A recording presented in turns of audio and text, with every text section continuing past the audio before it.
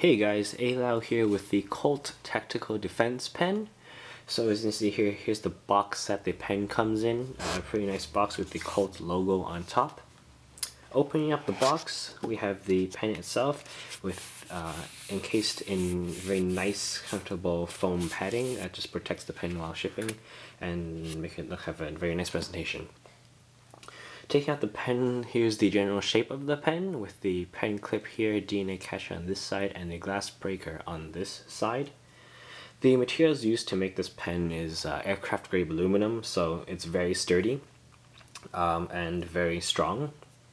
The weight of this pen it comes around to 1.7 ounces or 50 grams.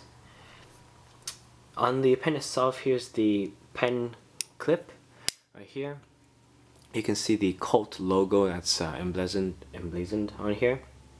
And you can actually take this off. If you can, you can unscrew the DNA catcher and the pen, the pen clip can actually come off if you uh, choose so to take it off. On top of the pen cap is the DNA catcher, and that's generally to uh, for self-defense sometimes. Um, you can use this to take off chunks of, uh, of your assailant's skin and uh, there'd be DNA stuck in there. You can probably like, track the person down. On the other end is the glass breaker, and I've heard that this can be used as a stylus on touchscreens, but I would advise not to because it can really scratch glass very badly, the very tip of it.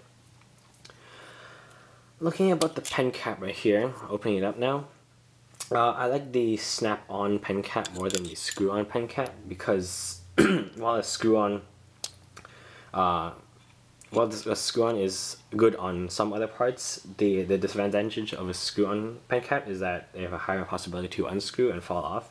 While the snap-on pen cap stays on relatively well, you can see right here, relatively well. The pen, pen function of this pen has a 0.7 to 1 millimeter wide uh, writing stream.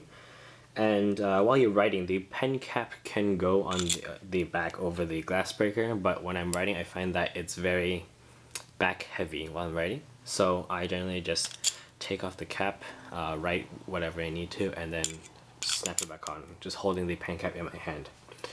So uh, there you go guys, that's the Colt Tactical Defense Pen for you. Uh, I hope my review has uh, helped you in your search for a tactical pen if you are so looking for one. And if you're just here for uh, interest in tactical pens, I hope you guys like this review.